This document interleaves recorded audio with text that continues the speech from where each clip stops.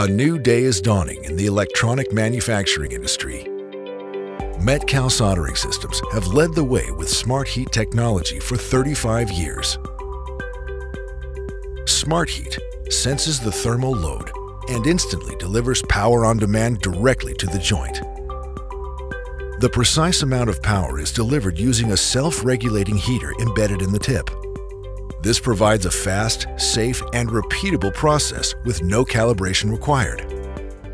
Now, Metcal is raising the bar again with a technology that will forever change hand soldering. Currently, the industry standard is based on a visual inspection of the solder joint. Metcal has developed a better way. Introducing Connection Validation. The intermetallic compound thickness is critical in the formation of a solder joint. Connection validation evaluates the quality of the solder joint by calculating the intermetallic compound formation and providing closed-loop feedback to the operator. Using patented chip and cartridge technology, the Metcal Connection Validation System enables bidirectional communication between the cartridge and the power supply.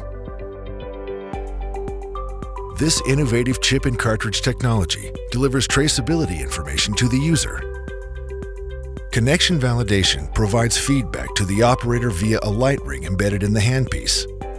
Successful intermetallic compound formation triggers a green light, signaling to the operator that the ideal solder joint is created.